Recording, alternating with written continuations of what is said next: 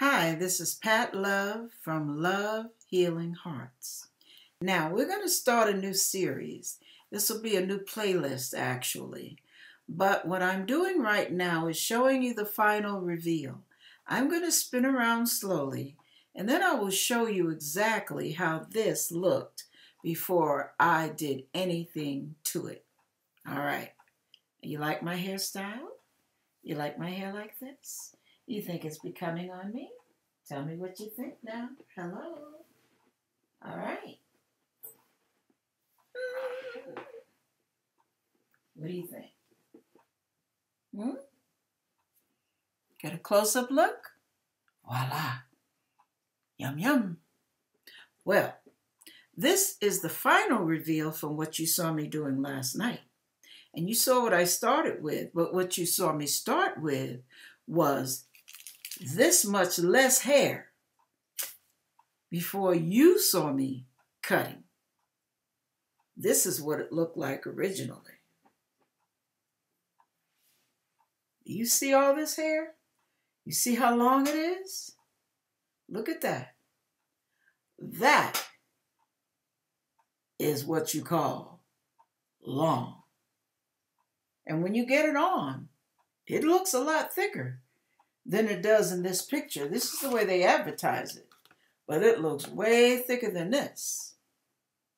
You see how long that is on that young gate on that young lady's hair? Look at that. That is that's below her elbows. below her waistline.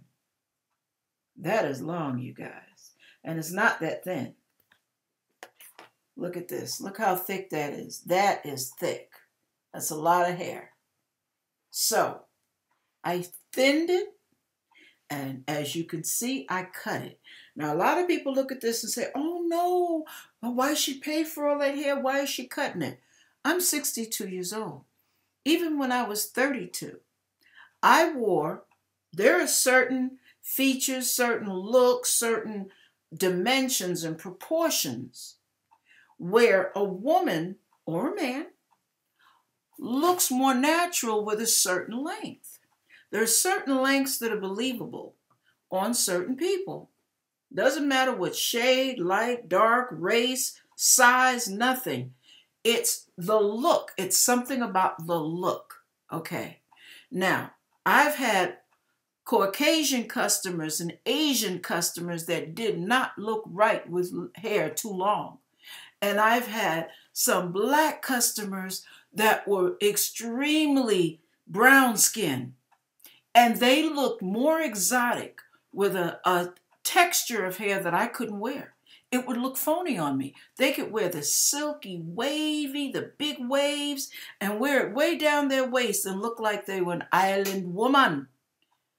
I couldn't wear it. I would look like a fool because it didn't match my features. So when you wear a hairstyle, you must wear the cut and the thickness that matches your features.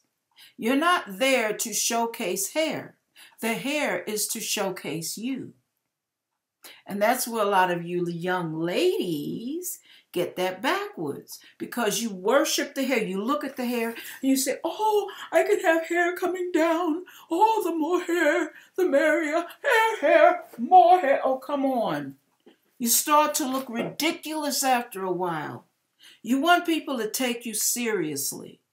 Wear a look that is believable. Don't try to overcompensate by wearing four pounds of hair on one head of head. It, it just doesn't make sense. You may think it's pretty, but other people are looking at you behind your back and then looking at each other like, I don't think so. So, when you style, you make sure you never buy a wig or or hair and just slap it on. You've got to use thinning shears. You've got to use scissors. You've got to shape it. You've got to taper it down. You don't just let edges hang long.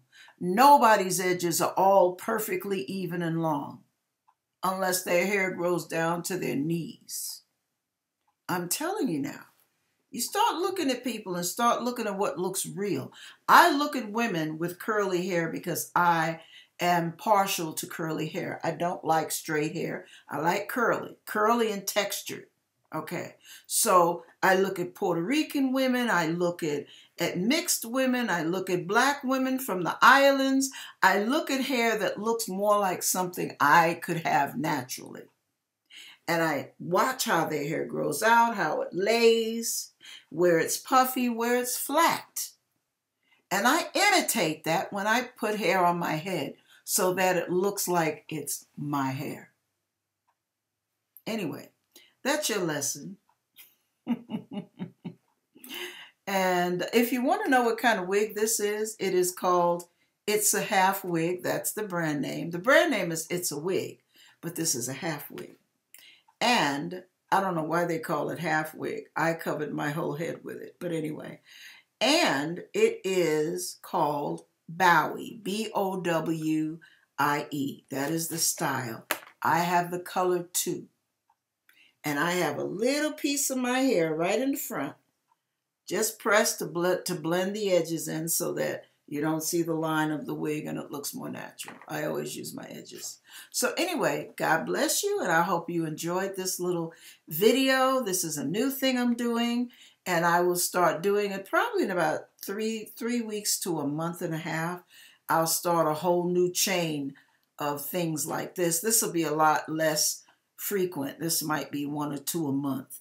Just for women who want pointers on what looks good on their faces and what type of styles they should wear.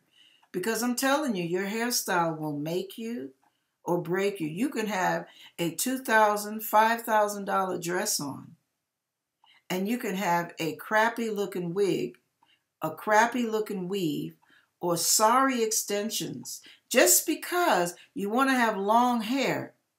And some of you Caucasian women or, and you young ladies who want to wear it way down, down, down, you have to remember that if your hair is not that long, your hairdresser needs to layer it from the length of your hair to the length that you want it to be so that it looks like a naturally layered cut.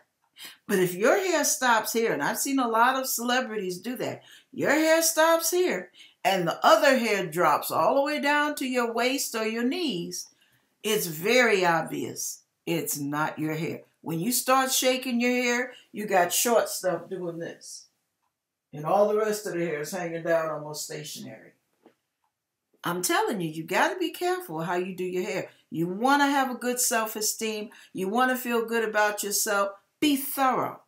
Be thorough. Be particular about how you present your yourself from head to toe. Okay. God bless you. Lesson learned.